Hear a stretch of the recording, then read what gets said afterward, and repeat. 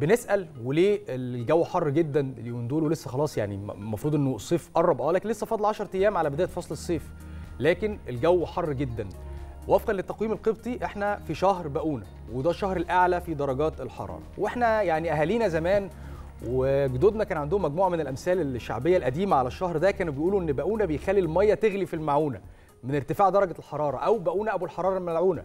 فارتفاع درجات الحرارة شيء طبيعي لكن الملاحظ هو إن الموجات شديدة الحرارة بتستمر فترة طويلة وممكن تقعد أكتر من أسبوع أو 10 أيام وده إحنا مش متعودين عليه بس بقونا أبو الحرارة الملعونة؟ الملعونة آه. حلو حلو. درجة الحرارة بترتفع فيه جدا يعني وده ده شيء حقيقي. متوقع وطبيعي لكن الفكرة التقلبات اللي بتحصل دي صعبة قوي أنت عارف زمان يمكن كانت آه، الموجة الحارة دي بتبقى يوم يومين ثلاثة على أقصى تقدير لكن دلوقتي إحنا بنشوف درجات الحرارة العالية دي بتقعد معانا مطولة شوية.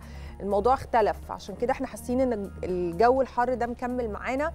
آه، فلازم إحنا يعني ناخد احتياطاتنا والإجراءات الوقائيه إن إحنا نبتعد قدر الإمكان عن التعرض المباشر لأشعة الشمس. يمكن آه، دكاترة كتير لما بيجوا معانا في البرنامج بيقعدوا يقولوا لنا لازم نشرب آه، آه، مية كتير ناخد بالنا كويس قوي إن إحنا ما نتعرضش لأشعة ال- الشمس المباشرة.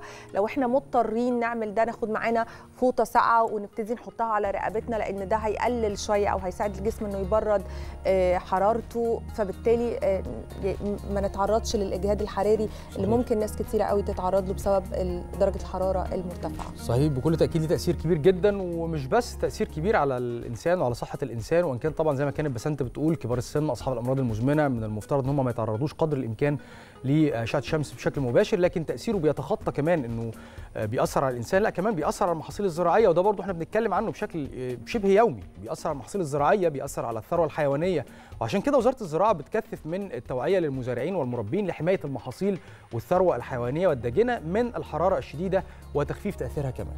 ده حقيقي آه، يا شاذلي. عشان كده إحنا النهارده بقى هنتكلم بشكل مفصل عن تأثير الحرارة الشديدة على المحاصيل الزراعية والثروة الحيوانية وإيه التوصيات اللي يمكن آه، لازم يلتزم بيها المزارعين والمربيين. فابقوا معنا في خلال الحلقة عشان نتعرف مع بعض على أهم هذه النصائح. مرة تانية بنصبح على حضراتكم واهلا بكم في حلقة جديدة من صباح الخير يا مصر.